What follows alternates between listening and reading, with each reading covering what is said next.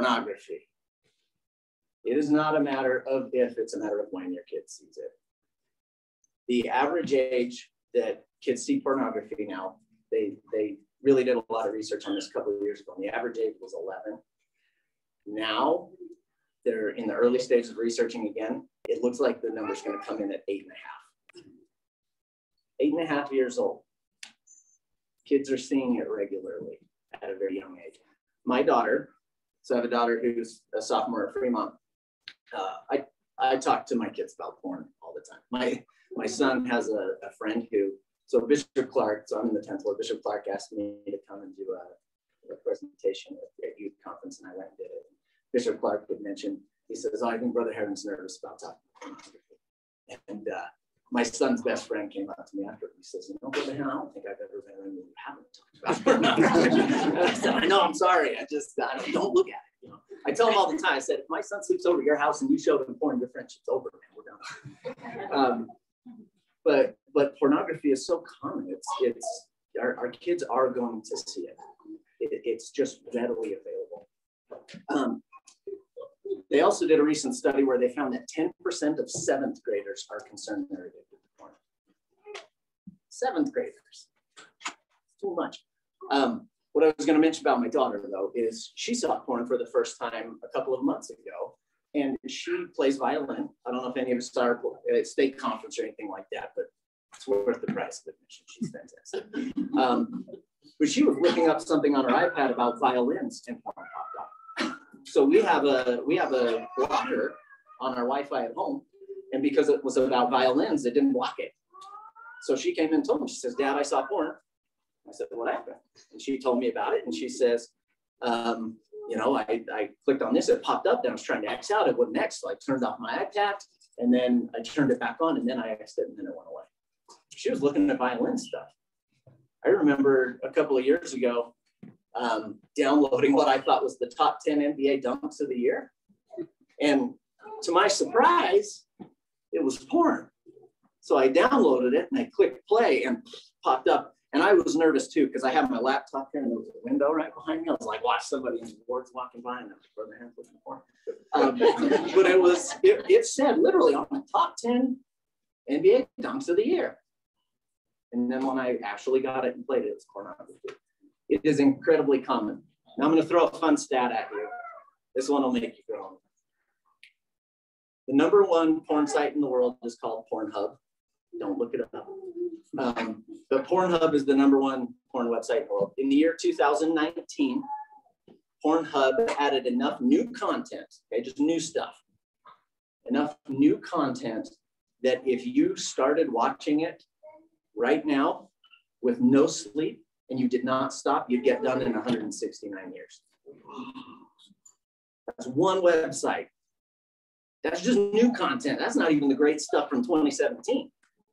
That's just 2019. I don't know what it is for 2020, but I would guess it up the ante even more with COVID and everything. They offered free memberships to help people enjoy their time on during the pandemic when we have to social distance.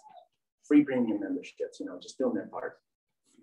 So they really come after us. Um, research also shows that a younger a boy is when he watches pornography, the more likely he is to be promiscuous and to want power over women. Again, unacceptable. We can't let it happen like that. I will say though, this is not just a male problem. The numbers are going up in women as well a lot of parents will come in and they're worried about their sons, but not paying attention to their daughters. I've, I've had several women come in. I have a, a young lady who comes in to see me right now. Her dad's a bishop, and she can't tell me she's a bishop. She just can't bring herself to do it. So we talked about it about it. Talking to. Um, now, again, I think this impacts the way men treat women. My daughter, again, she's a sophomore at Fremont. She's cute as can be, right? I'm uh, I'm biased as her father, but she genuinely is as cute She's gorgeous, super, super nice young lady. As far as I know, I mean, I don't know. I, I, I, hope so. Um, but she tells me some of the things that people say to her at school. She told me um, in junior high, she's had boys tell her her chest is too flat, that her butt is too flat. They've called her a whore. They've called her a slut. They called her a hoe. I mean, and my daughter is super kind, super nice, super sweet, she's gorgeous. And she got voted at Rocky when we were at Rocky for two. She got voted most likely to be America's next top model. She's super cute. And the boys are saying stuff like this. We got to teach our sons how to treat them. It's we need to tell them how to treat them, not just how not to treat them. Too often we're not proactive in that. We just, oh, you got to be nice. Okay, but what does that mean? What does that look like? How do we do that? Um, now, pornography is highly addictive. Now we're going to talk about dopamine. I don't know if you're familiar with dopamine. Dopamine is a chemical in your brain that comes out heavily when we experience pleasure and enjoyment. So dopamine comes. If BYU beats Utah this year, I'm going to have a massive dopamine rush, right? So I'm preparing myself for the lack of dopamine on that day. But uh, dopamine comes out heavily with a couple of things. Number one, when you have an experience that exceeds your expectations. And number two, novelty and variety. So if you think about that with internet pornography, you are one click away from something different that you haven't seen before. Oh, that looks good. Click, dopamine, click, dopamine, click, dopamine. Now, dopamine is different than any other neurotransmitter in the body. So serotonin and a couple of other neurotransmitters also bring out pleasure and enjoyment, but they they follow a pathway. I don't know if you ever heard about the pleasure pathway. They used to talk about that in psychology class and biology in school, um, where they felt like, oh, follow this little pathway in your brain. Dopamine doesn't do that. Dopamine is actually different than that. It's like taking a squirt bottle and spritzing your whole brain. So serotonin, some of these other chemicals, they do follow a pathway. It's like the lights on your house, the Christmas lights on your house. Dopamine is like Temple Square. It just lights you up and your body and brain crave it. Once you get dopamine and then it goes away, your brain's like, man, that was awesome. How do we get that again? Porn. So when you look at porn, you get that dopamine rush. And then your brain says, man, we need some more of that because now that's gone. How do we get it back? And that's part of why internet porn is so addictive compared to magazines. It used to be that people that have the magazine, same pictures, tell your subscription, magazine comes in next month. Now you got access to so much new stuff. Again, 169 years worth on one site of clicking on something different and getting that dopamine rush repeatedly. Now, again, teenagers, dopamine's more impactful on the brain. Okay, so it, it hits even harder. They need that rush in order to feel fulfilled. Otherwise, they're whining about being bored. This isn't fun. So it, it's hard as adults to not tell them to just suck it up but that often doesn't get the job. They'll still complain, they'll still be miserable. now, sexting. Are we all familiar with what sexting is? So this is very popular now. Sexting is basically sending and receiving some kind of illicit images uh, back and forth between people, often of themselves. Uh, it's very common becoming increasingly common. I'll ask teenagers a lot of times in my office, have you ever sent or received a sext? And almost everybody says that they've either received one or been asked for one. Many of them will tell me, no, I've never sent one. Um, but many of them will say, oh yeah, I get asked for one all the time. Girls get asked constantly. And for guys, it's like, hey, it's worth a shot. Hey, send me a picture. And if they say no, okay. But if they say yes, sweet. I've got this picture of this person. I have a client who went to a local high school several years ago, and she had a guy bugging her about send me a picture, send me a picture, send me a picture. And she says, no, no, no. So finally, okay. So she sends him a picture of her in her, her bra and underwear. On Snapchat, we'll talk about Snapchat. On Snapchat, the guy screenshots it. So Snapchat, you send a message and it disappears after a certain number of seconds. This guy screenshots it and shares it with all his buddies. So she she referred to it. She said, "I became the school skank." That's what she said. And all these guys would walk past her in the hall and kind of look at her and laugh, and make comments and stuff. And this is a good kid. She's a good kid. She made a really poor choice, and she paid for it. She no longer lives in the state. Her sister comes to see me, and we've talked about. It. She said her her sister since she graduated high school, she bailed because of how this affected her. And she made again, team split second reasoning she made a poor choice that impacted her tremendously. Um, sexting happens very, very regularly. Um, now, kids will often hide those images. They'll save them and hide them. if your kid has two calculators on their phone, one of them is probably storing images of some sort. Your phone comes stocked with a calculator, but there are apps that allow you to hide images through a calculator. So you pull out your calculator and then you punch in whatever math equation you pick 55, 12 times 8, enter, boom, now I get to look at the images. So I don't know how to get into that. If my son's got one of those, I, am not going to guess his math equation. There are also apps. One of one of the famous ones called Vaulty Stocks, where people will store images that way. And if you try to punch in the code so that you can get in and see what's in there, it will take a photo of you so they know who's trying to get into their phone. So, yeah, see, this is dire, isn't it? It feels terrible. Uh, I'm glad to I'm glad to bring such good news to you. You know, that's all I've got for today. Um, no, it, it, it it's hard because those kinds of things are so common. It's almost like everyday life for them. Um, I have a teenager who tells me something that's trending right now at Fremont that I have not been able to bring myself to say in front of an audience yet because it makes me so uncomfortable. And I'm not going to do it now. If you want to know afterward, come talk to me. But I, when she told me that, I was like, oh my gosh, it made me so uncomfortable. Um, they are finding ways to get around this stuff so that we don't know what's going on. They're good at it. It's kind of frightening how, how good at it. Now, we're going to hit on social media real quick and then we'll get into a little more of what do we do about some of this stuff. Where are we? Okay, we're doing good. Social media.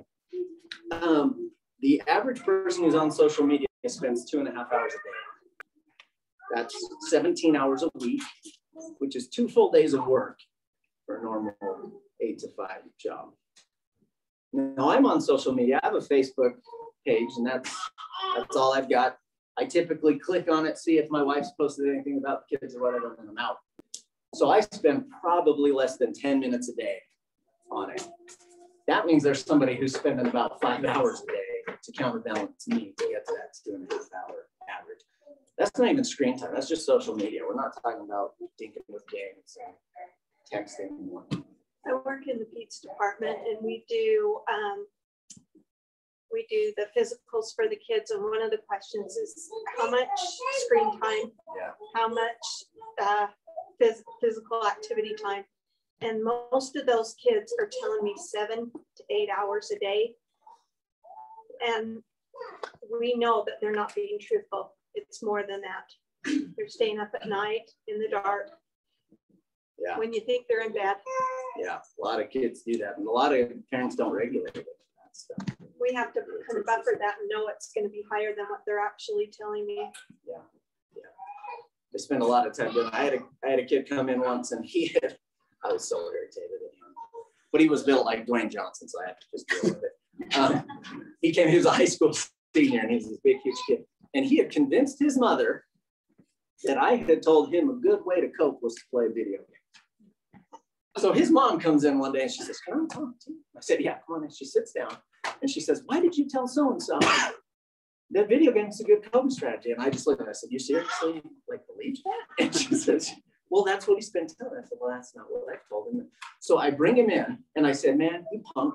You told your mom this? And he starts laughing. He said, I had a good run. So we calculated it, and he was spending an average of nine hours a day playing video games while school was in. This was not the summer. He would get home from school. He would play for three hours from about 3.30 to 6.30, have dinner, then play from about 7 o'clock to 10 or 10.30 at night. And then on Saturdays and Sundays, we're talking 10 or 12 hours pop. So it goes, I don't know how he looked like Dwayne Johnson when he's playing so much video. I don't know if he's pumping while he's playing or what, but um, was nuts. So we got to be careful about this. A couple of years ago, I, I lived in Syracuse and they were reorganizing our stake presidency in Syracuse. And Elder Christensen, Greg Christensen came and he was presiding over the conference and, and changing the stake presidency. And we had a leadership meeting on the Sunday morning and he did a Q&A. And somebody raised their hand and said, hey, how do we regulate our kids on their devices? How do we regulate their, their usage, their phone use, all the stuff? We can't get our kids to stay off of it. And his answer was really interesting. I thought for sure he would just say, oh, you gotta have these protections, you gotta have this and this. what he said was, is he said their using of a phone is a great opportunity for them to learn how to listen to the Holy Ghost. He said those phones provide a lot of temptation, but they provide a lot of opportunity to do good. And the Holy Ghost will prompt them to do good things with it. It'll prompt them to send a friendly text message or complimentary text message to somebody. Hey, you did great today when we played the musical number in Sacramento. Or hey, you looked cute at school today, or whatever. Great job in the game on Friday. Those kinds of things could be there. Or look at porn. Take a picture of yourself and send it to somebody. Greg Elder Christensen, he even called it a leophone. So he said you can, he said it can really direct us, it can guide us in certain ways to, to help make good decisions. But our kids need our guidance on that. It doesn't mean they need free reign. Now, how you decide to do whatever you do with your, your kids on social media is, is up to you. We'll talk about some of my suggestions. I would recommend, if it were me, that you not let your kids have Snapchat. They will come to you and they'll say, but that's how everybody communicates. Well, they can text you if they want to talk to you about it. I have seen so many problems come from kids on Snapchat. And Snapchat made a few changes to try to make it so it wasn't quite as rough that way. And so a lot of parents kind of re-embraced it after that. If it were me, I wouldn't do it. Yes. What age would you start social media or like smartphones? That's a tough question. It, it depends on the maturity of your kid, honestly. So, so my kids, we let them have phones starting in junior high, but we have we use a Family Link app on our phone where we can control. They have to get us to approve any app that goes on there, and then we get to regulate how much time they can spend on each one. And so that's that's what we use. And so there's certain apps that we don't let them have, and there's others they can spend as much time as they want, but they only have a certain amount of time they can use their phone a day.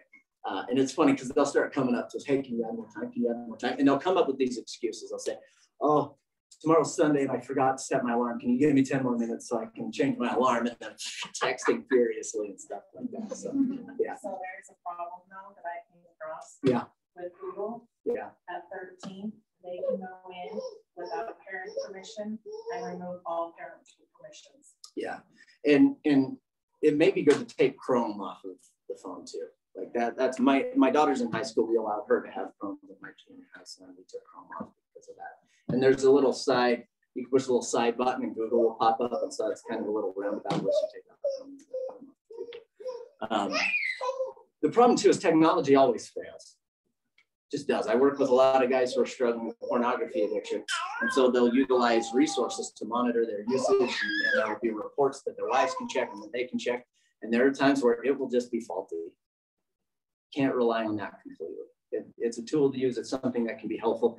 But if we're relying strictly on that, uh, we're, we're not in the stores We've got to talk to our kids about this stuff. Um, a lot of teens report that social media leaves them feeling less than. You know, uh, all my friends take more vacations and, and they've got a bigger house and that friend looks better in a swimsuit or he's a better athlete or his dad drives a Tesla or whatever it may be it, it's hard to look at it like, oh, my life's not fun like theirs because they're doing all these cool things and we're comparing our everyday life to their highlight reel. And of course, we're going to feel that stuff.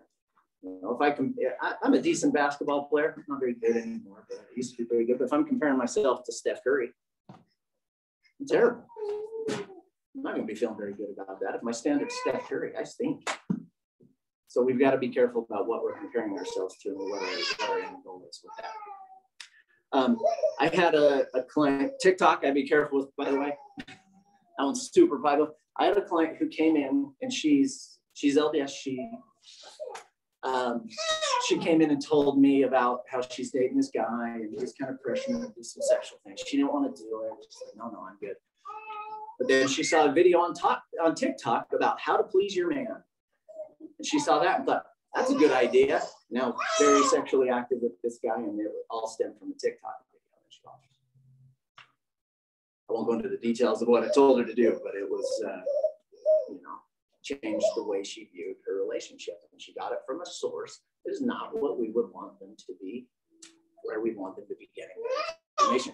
When I was a kid, I remember my dad telling me, he said, son, if you have any questions about sex, come ask me because your friends are stupid. They don't know and I remember thinking to myself, right, yeah, okay. Um, I won't tell you what the question was, but we were at dinner one night when I was a senior in high school. My sister would have been in like eighth grade. And she asks my dad a question, hey dad, what's a blank? And I was blown away. This man just straight answered the question. Well, honey, it's a da da da da. And he explained it. Do you understand now? She goes, yeah. He goes, very good. And then he kept eating his food. And I thought, I thought, holy cow, he's legit. He means it when he says it. And I thought, I've been missing this resource the whole time because I thought he was bluffing. Um, I asked him about it later. I said, hey, what, what went through your head when Whitney said that? He said, my brain almost fell out. I didn't know what to do with it. You know, he's like, you know, but he just answered the question and mowed along. I thought, man, that guy's stone cold. Feels impressive. Um, okay, so have I painted a scary enough picture for you? I mean, that's really my goal here. Is I want you to feel like there's no hope. that is terrible. Uh, yeah, awareness is huge. The more we're aware of something, the more we can do something about it. Captain Moroni is a great example of this. Captain Moroni was incredible. He was so successful in the war. Part of why he was so successful is he knew his opponents. He would send spies out. He would strategize. He knew in advance what they were doing and how they were coming at him. And because of that, he could offer countermeasures and be victorious. We've got to do that too. Uh, that's kind of where we're at as, as parents, as grandparents, as aunts and uncles. We've got to have countermeasures in place to help our teenagers navigate this, help them figure out. One of my favorite phrases is better to fight the devil you know than the devil you don't know. If we know what we're up against, we can fight it better. We can have better strategies.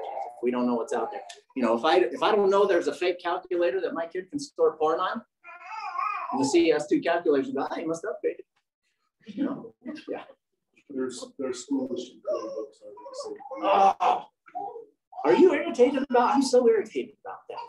My son just damaged one of his, and they're trying to make me pay for it. And I said, I didn't want this thing in the first place. I told you to keep it. Yeah, it's, it's I don't know, thousand reports every day. Doing they don't have time to even run it all down. Yeah. Yeah. Yeah, yeah, no, it's a good point. We we told the school we my kids got those issued at Rocky Mountain when we lived in West Haven. And I called the school and I said, keep it. I don't want your Chromebook because I can't monitor it. And they said, oh no, everyone has to have one and whatnot. And then now my son's doesn't work. We gave it back to them and they sent me a thing that said, oh, we'll send you the bills for the repair. I said, well, Promise you I can't get anything from me. Um, I told you to keep it. I'll, I'll give him a device if he needs one. And so we we wrote him. I wrote an email to the principal and talked to him a bit. And he said, "This is out of my hands. It's like it's the district. How it." So yes, I was frustrated about that. Um, okay. So as parents, one of the things that's important to keep in mind is we need to parent out of our highest principles here it, it's easy to parent so much out of concern and out of fear that we try to start dictating things and controlling things. And I'll just be blunt and say that's the adversary's plan. That's that's what he had. That, that's not the Savior's plan. If we're just dictating all the time and, and trying to control our kids and their decisions, how on earth are they going to make a decision when we're not there to impart and we, we've got to teach them to be good decision makers. Now, it doesn't mean we don't have limits we obviously want to have limits. But one of my favorite quotes from Elder Holland is he said, second only to your love, your children need your limits. So we got to have limits. But the key here is we want to help them learn how to make good decisions. Um, kids who have parents who don't set rules or don't set standards like the, the parents who are so accepting of everything, um, those are the kids who feel like their parents don't really care. They don't want to do the heavy lifting of parenting you know, they look at it and go, you know, you don't care about me enough to negotiate with me and have these conversations with me. I have several kids who come in and see me and parents have very few limits. And it's amazing how often they'll admit to me that they don't like that. They admit it. They'll, they'll say, I, I don't know how to do this. It's part of why I'm coming to talk to you because my parents don't have ones that don't talk to me. And, and those, those limits are meaningful to them, even if they don't like them even they want to negotiate, even if they think they're dumb, they see it as the fact that you care about them. They see it as that they are worth your effort as a parent to enforce some of these things and talk to them about certain stuff. Um, it tells our kids they aren't worth that difficulty, and that's that's a struggle. We need them to learn how to be good decision makers and being open with them about how do we do that? Well, when we have this limit, why do you think we might have? How will this help you inform you in your decisions? If we say you shouldn't do drugs, and then someone offers you drugs, and you know we have this limit, how can you step back say, this person's encouraging me to do drugs? My parents say don't do drugs. What do I do with that? How do I make the decision? We've got to have those conversations with them. Um, now, if we're not raising children who are able to self-direct, we're going to really miss the boat here. We, we need them to learn how to have their agency, how to have their will, and how to utilize it well and appropriately in a manner that, that's helpful for them. If we don't allow them that, they can't authentically choose to follow God. Okay, it needs to be authentic. I think it was Harold B. Lee made made a comment once where he said something along the lines of uh, "We can't live on borrowed light forever." He's talking about that story, the, the ten virgins and, and living on borrowed light. We've got to have a light of our own, and if we're making decisions for them and imposing things on them, it's not going to be authentic faith in God. We need to help them develop that throughout their time with us in upbringing. I think that's a big part of Come Follow Me. The biggest predictor of your kid being active in the church as an adult is whether or not you had regular gospel conversations in the home while they were growing up. Number one predictor. So when they came out with Come Follow Me, I was like, nailed it, nailed it, because we've got to have those discussions. We've got to have those kinds of conversations because it'll help them in their decision making. Um, and we've got to give them space to develop that relationship with God. Now, I'm going to give you a little confession time here. Um, when I was 13, I got caught stealing. Now, if you can think of the worst place to get caught stealing, uh, I don't know, Deseret Book maybe or something like that. think of the worst place to get caught stealing. I got caught stealing at the BYU bookstore. Okay, I'm not done. I got caught stealing at the BYU books because I'm a Cougar fan. I was doing the part. Um, I got caught stealing at the BYU bookstore while I was there for EFY. okay, I'm not done. now, I had gotten special permission to be there because I was 13. And I got kicked out for stealing. I had to do the perp walk right down the hall while everybody stood at the door and just shamed me, you know? Now, my kid's favorite part of this, I'll throw this out there just because they'll appreciate it. My kid's favorite part of this is what I stole. So I'm going to just tell you, no, it's nothing to do with this. Your socks, right? So no, these are legit paid for. I have two pairs, by the way.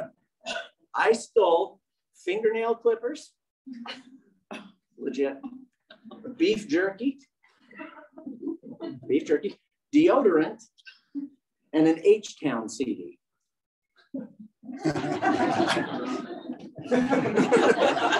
so I had a friend who had taught me how to steal. He came to me and he says, Hey man, you still still get it for free. So I remember the first time I took something, I was in 7-Eleven, snaked with three musketeers. It was intense. I got a massive dopamine rush. Right? So I get out and I was so nervous, but I got a free three musketeers. It was great, right? So I got good at it. Did it some more. Did it some more. Got really good. I got cocky enough that I stole it. By the way, I had stolen something the day before, got away it. But they caught me and I remember how my parents parented me when that happened to me. There was a, I'm, I'm not going to tell you which parent did which because I want to keep that safe in case they ever somehow see or hear this presentation.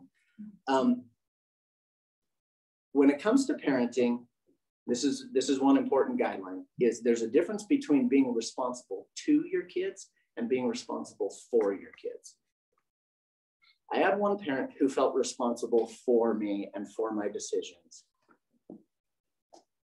She's a female. and uh, she felt like she was the worst mother in the world. I remember sitting in that room. I mean, I I was sitting in this room at BYU, and my mom opens the door and she just looked at she just glared at me, and it was like Simba and the Lion King when when uh, Mufasa says, "I need a moment with my son," and Simba drops his head. That was me. But she felt so responsible for me that she was a bad mother. She could barely look at me. We would be at dinner, and I would sit here. She sat here, and my dad and my sister would talk, sit here, and that's where they'd ask their sex questions and stuff. And I and my mom could barely look up. It's like if she looked up at me and saw me, she'd be like, "Oh yeah, I don't like that," and she would duck her head back. Um, it was tough. I lost all my friends. All my friends called me up and said, and because they were doing it too. All my friends called me up and said, "I know you're going to rat us out. Screw you, bro." Hung up the phone. Bailed on me. I remember walking into school first day of school. All my buddies were right over there. I had to walk in while they all looked at me and I walked right past perk block number two. Um, it was really hard. My dad, though, I remember how he handled this, and I'll tell you, it was just very helpful for me. He came and he sat me down. He said, Did you know stealing was wrong? You know, I felt like I was fine, right? But he said, Did you know stealing was wrong? I said, Yes. He said, We taught you that? That, that was clear to you? I said, Yes. And he says, Good, you're stupid, and this is on you. I said, Okay. And he said, We don't trust you right. You have lost our trust, but we love you and we will help you gain it back if you will do some of the things that we ask of you. And I remember in that moment feeling like I have control of this. Initially, I felt like I didn't have control. I just had to wait for somebody else to calm down. But in this scenario, when my dad told me, I thought, okay, I could do something with this. I can restore and re-earn trust. And that conversation that he had with me empowered me, gave me a chance to say, wow, I can do better. Now, I want to say clearly, especially since a member of the stake presidency right now. Other than speeding, I haven't broken a law since. okay, I just want, just want to say that just so that we're uh, that we're clear on that.